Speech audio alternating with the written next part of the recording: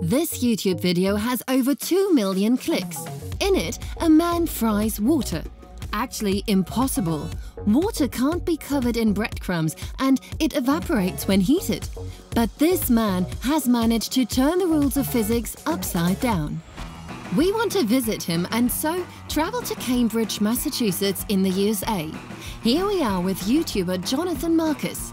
Instead of a laboratory, a perfectly normal apartment building awaits us. He made his video here. Hello. Hi. Are you Jonathan? Yes, I am. Alisa, hi, nice to meet you. Yeah, come on in. Uh, I hope you're hungry. I've prepared everything. The man has a sense of humor. We all know water doesn't fill you up. There is more going on in this kitchen than simply cooking and baking. At least there's a deep fryer. But how does Jonathan fry water in it and why at all? I've been experimenting in all parts of my life, uh, and certainly in the kitchen since I was very young. Here it comes. Jonathan is not a physicist, not a chemist, but works as a consultant for a technology company. Does he know what he's doing? After all, mixing water and hot oil isn't without its dangers. The biggest problem is if you put uh, water into hot oil, you get a violent reaction. Even a small splash of water in hot oil leads to strong reactions. The water immediately vaporizes into steam and expands, displacing the oil and hurling it explosively into the air. Please do not copy this at home. It can result in severe burns. In order to deep fry water, I had to have some kind of protective layer. Um, and for, for that, I turned to just the techniques of mo molecular gastronomy. So, the water needs a solid body, a jelly-like shell. The kitchen drawers look like a chemistry lab. No wonder Jonathan is now mixing calcium alginate from calcium and alginate. First, alginate, a raw material obtained from algae. It is considered a perfect gelling agent. Jonathan weighs it and mixes it with 500 milliliters of water. During mixing, air bubbles appear. They can't be left inside because they would cause an explosion when frying later. So, Jonathan sucks out the air with a vacuum device. And now I'm going to warm it up to uh, make it more fluid and make the bubbles come out easier. Then the alginate water goes into a water bath at 25 degrees. And now the second substance, calcium. We know it as an important component in our bones.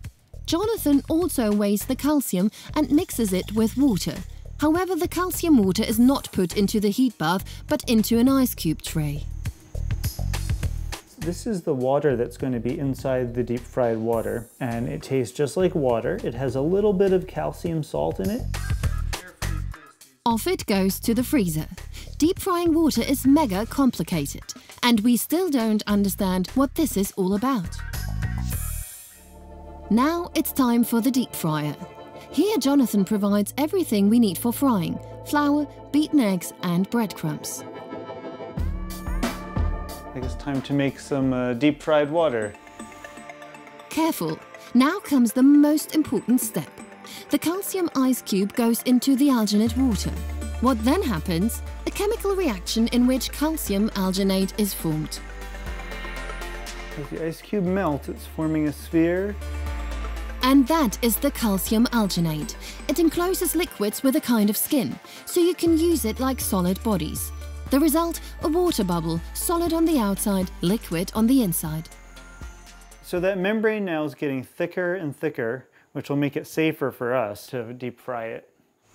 Just to remind you, this cover is needed so that the water does not come into contact with the hot fat. So now we have made a drop of water in a casing. Jonathan takes it out carefully so it doesn't break. But is the casing strong enough for deep frying? And if you want to see what it feels like, just hold out your hand. Okay. There you go. I don't want to break it. It's just a thin layer on the outside of gel. If I break this, it's just liquid water.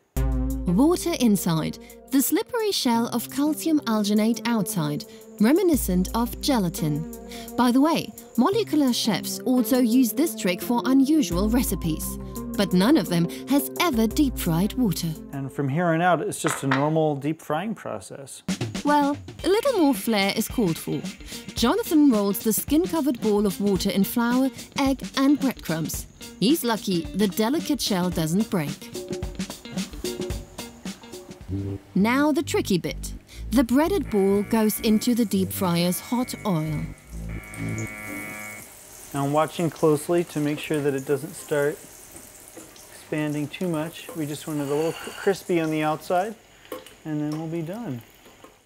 The danger is that the pressure in the breaded ball rises dramatically due to the heat during frying. So if the gooey coating is not thick enough, because Jonathan didn't get all the air bubbles out earlier, it could burst. And that would cause an explosion in the oil.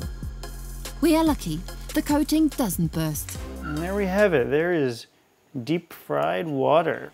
At first glance, no difference to deep fried pastries, if it wasn't for the liquid content. It just worked right away.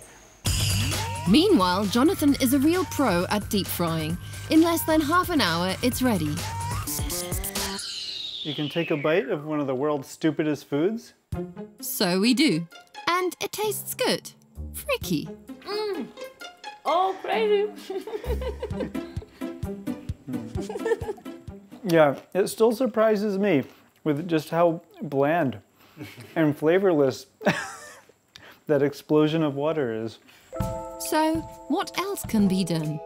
I haven't done that yet, but uh, we can totally do that. I have things here in the kitchen we can try. How about milk or coffee, for example? Oh, I just made this soup yesterday. Jonathan first prepares all three liquids again as calcium ice cubes. Then he fries some milk. Coffee. And of course, the French onion soup. Basically, there are no limits to the imagination when it comes to deep frying, with one exception. If you try to deep fry something with gas in it, it would explode. So you can't do beer either. What works looks tasty enough. I wonder if a new trend is making history here. For now, I think I'm just going to keep experimenting in the kitchen and maybe make these for my friends. Uh, oh, hey Pete. How's it going? Good. Wow. His flatmate Pete has seen a lot of crazy things and is a regular taster. I think this is French onion soup. Yep. Yeah. Now our team gets a turn. Coffee takes some getting used to. The water was better. The fried soup is convincing. Oh, it's great. Perfect.